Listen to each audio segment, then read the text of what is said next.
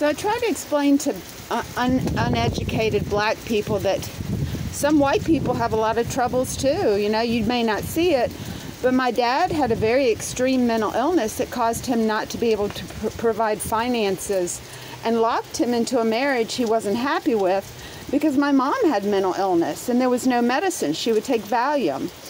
It wasn't till many years later that they came out with Wellbutrin that she actually conquered her issues with agoraphobia and panic attacks. And poor thing, you know, I was mad at her, but she drank and smoked because she was having anxiety and it helped. And I think dad tried to understand, but it was just too much with his bipolar.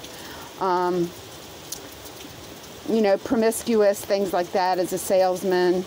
And nobody in the family wants to talk about the elephant in the room, but let me say, Jennifer's a controlling person you know, and she's got some issues. I mean, I didn't do anything. She walked over and assaulted me when all I did was talk about my country western poor songs, the poor country cowboy songs of the heroin user and the alcoholic, and then the the nice one that died of leukemia. So it's just she can't control it, and if she can't control it, she just wants to kill it. And you don't not, and I'm not good at weddings. You know, I don't do that bullshit.